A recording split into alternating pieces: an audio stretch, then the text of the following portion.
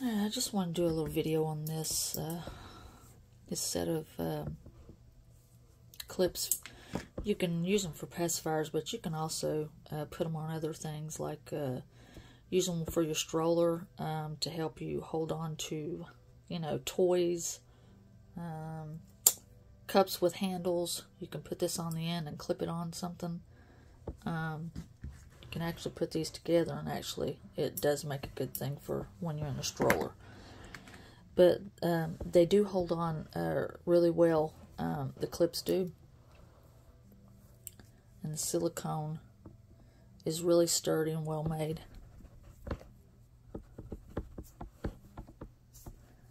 It will grab onto fuzzies and hair. There you can see hair and stuff there on that one. Dog hair, fuzzy and stuff, but I mean, it helps keep bibs off. You know, it's just they do grab. Just it's the kind of material it is. It grabs hair and stuff uh, really easily, but uh, unlike other you know cloth ones, you know you have to actually wash them, let them dry. You can wash these off easily.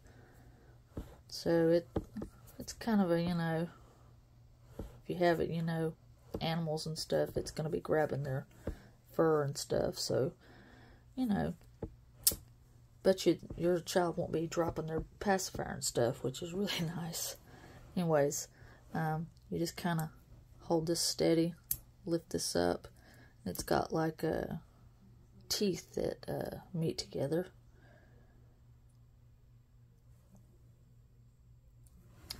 I got a bib here. You can put on their clothes too.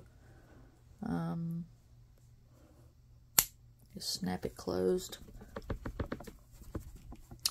Has a nice grip. Um, find something a little thinner here with no edge like this.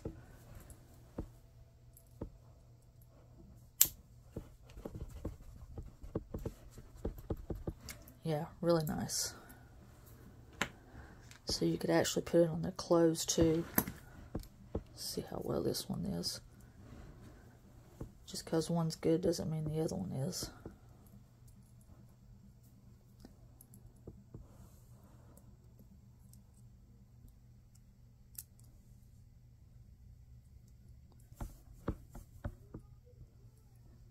Just kind of clip it there.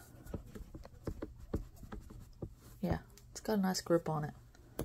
The teeth are teeth are uh, well made.